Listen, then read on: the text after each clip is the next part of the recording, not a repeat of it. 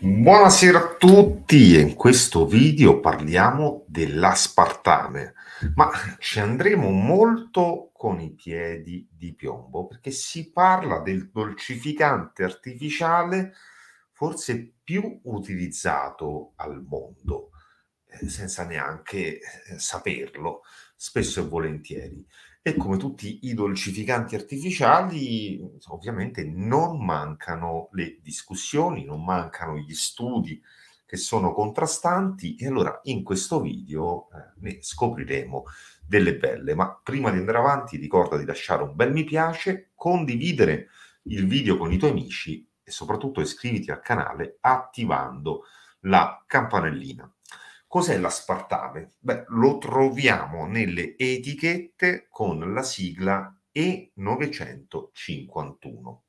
Si tratta di un dolcificante artificiale che è utilizzato consapevolmente o inconsapevolmente, i numeri sono enormi, da oltre 200 milioni di persone al mondo. Quindi sono 200 milioni le persone, pensate quante sono, neanche so immaginarle tutte insieme, che utilizzano quotidianamente aspartame. E lo troviamo in oltre 6.000 prodotti dietetici, quindi in bevande, gomme da masticare, dolciumi, caramelle, yogurt, ma anche nei farmaci, farmaci come sciroppi eh, e antibiotici, soprattutto quelli per bambini che devono avere un buon gusto. Eh, è un dolcificante particolare perché è a livello chimico un dipeptide, significa che è una molecola costituita da due amminoacidi, la eh, fenilalanina e l'acido aspartico queste due insieme hanno, si è scoperto, un potere dolcificante. E il suo potere dolcificante dell'aspartame è stato scoperto intorno alla metà degli anni 60 e da quel momento in poi ovviamente è stato oggetto di studi, di ricerche e eh, di risultati controversi, così come dicevo all'inizio del video. Comunque nel 1981 fu approvato dall'FDA e da quel momento in poi è stato inserito in oltre l'80% dei prodotti come dolcificante alternativo. Eh, la base, diciamo, del successo dell'aspartame rispetto agli altri dolcificanti è proprio il suo potere zuccherino che è molto simile al saccarosio, quindi non si discosta molto il sapore dal mm, comune zucchero da tavola. Il suo contenuto energetico è significativo, siamo intorno alle 4 kcal eh, su grammo, eh, così come il saccarosio, molto simile. Ma poi a seconda dei prodotti dove viene utilizzato, ha un potere dolcificante 150-250 volte eh, superiore a quello del eh, saccarosio. E questo ti dà un, um, eh, diciamo un buon vantaggio perché significa che in quei prodotti posso utilizzarne di meno per avere lo stesso e identico sapore dolce, quindi per avere lo stesso effetto organolettico.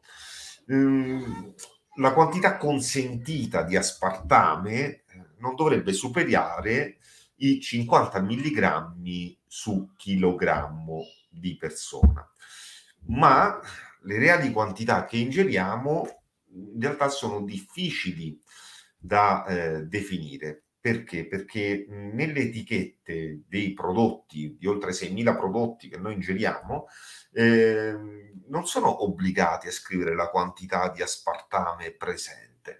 E eh, una stima fatta su questo prodotto, su questo zucchero, quindi su questo aspartame, è che eh, le persone che mangiano quotidianamente, quindi cibi confezionati, cibi già pronti, cibi preparati, riescono a ingerire intorno ai 3-5 grammi eh, su chilogrammo al giorno di aspartame e quindi ci troviamo molto sopra la soglia dei 50 milligrammi al giorno.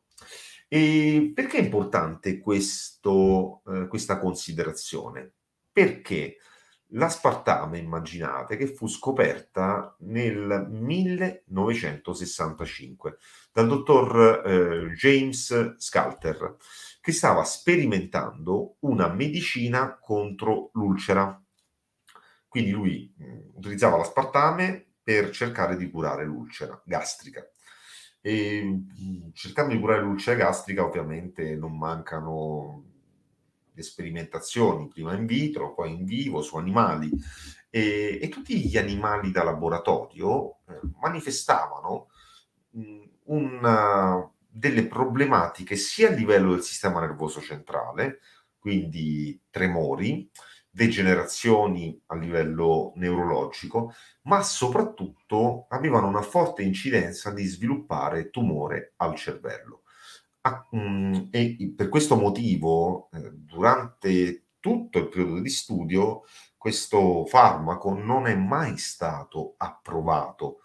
Eh, per un periodo di tempo lunghissimo, per otto anni non è stato approvato.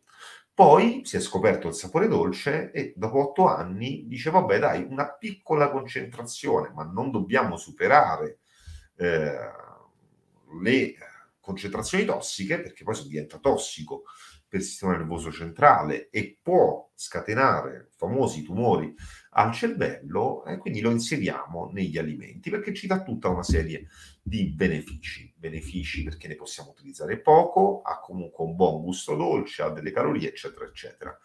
Il problema di oggi qual è? Che mm, mm, alla fine lo troviamo nell'80% dei prodotti industriali.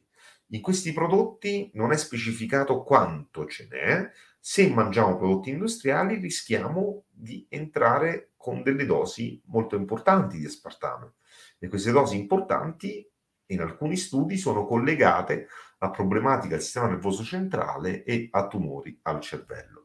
Dato che l'incidenza poi nella popolazione, se ci pensiamo attentamente, di problematiche neurologiche e tumori è comunque in forte aumento, io farei attenzione a limitare in generale per altri motivi, per tanti motivi, il consumo di alimenti industriali, alimenti troppo raffinati, alimenti dove aggiungiamo tutta una serie di E, quindi di questi eh, dolcificanti artificiali. La letteratura eh, ovviamente non, non, è che è univoca, quindi non ci sono solo studi che ne parlano male, altri studi ne parlano bene, ma nel dubbio vi dico, torniamo a mangiare cibi veri, frutta, frutta secca, verdura di stagione, legumi, cereali integrali in chicchi, il pesce, le uova. Cerchiamo di evitare tutto quello che è allevamento intensivo, tutto quello che è super raffinato. Proprio oggi, ad esempio, sentivo una signora che dice: Vabbè, io tolgo il glutine e mi mangio la pasta di riso. Ma perché consigliamo il riso? Si consiglia il riso integrale perché quel chicco contiene sostanze antinfiammatorie e antiossidanti. Nel momento in cui le vado a raffinare, ci tengo la pasta, è vero che non ha glutine, ma diventa comunque un cibo morto e questo non ci piace.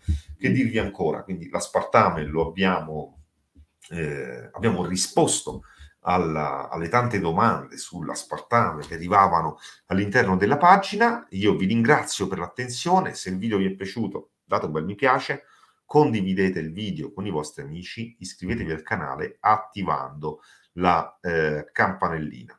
Mi raccomando, visitate il sito internet www.danilodemari.it, trovate tutta una serie di articoli, eh, quasi quotidianamente stiamo pubblicando articoli, po' come eh, dei miei appunti personali, quindi sempre con degli spunti molto interessanti su argomenti di salute, e poi troviamo la sessione della formazione. Quindi anche quella è una sessione che sto arricchendo pian piano. Vi ringrazio ancora dell'attenzione, vediamo se ci sono... Eh, sto molto attenta e leggo ciò che compro. Assolutamente sì, Anna è molto molto molto importante. Eh, fa male al fegato? Beh, non ci sono proprio degli studi co- che collegano l'aspartame alle problematiche del fegato, però eh, bisogna fare attenzione per altri, argom- altri motivi.